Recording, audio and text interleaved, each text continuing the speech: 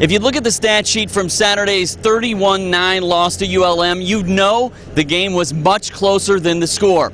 ULM with just three more first downs than the Tigers in the entire game.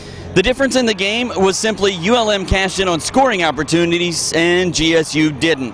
Coach Fobbs says while they can't dwell on the past, they'll need to cash in on scoring opportunities this Saturday if they want to pull off the upset against Louisiana Tech. They're a really good program, another another program that you know that we're kind of at a disadvantaged situation, but you know there's a lot of hurdles that we have to jump in order to get it back to even in order to have an opportunity. It's the it's the same kind of game, and I'm basically echoing the same type of speech that I spoke last week. Uh, there's a lot of things that we have to overcome in order to get it back to even.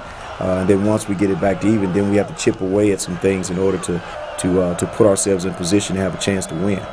The Tigers and Louisiana Tech have played just one time in the history of both programs. That back in 2010, a 20 to 6 win for Louisiana Tech. Reporting in Grambling, Tim Owens. Back to you.